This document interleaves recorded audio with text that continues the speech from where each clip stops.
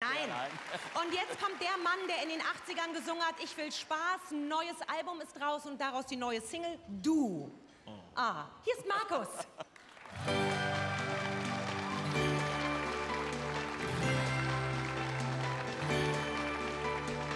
Ich hab mich um 180 Grad gedreht.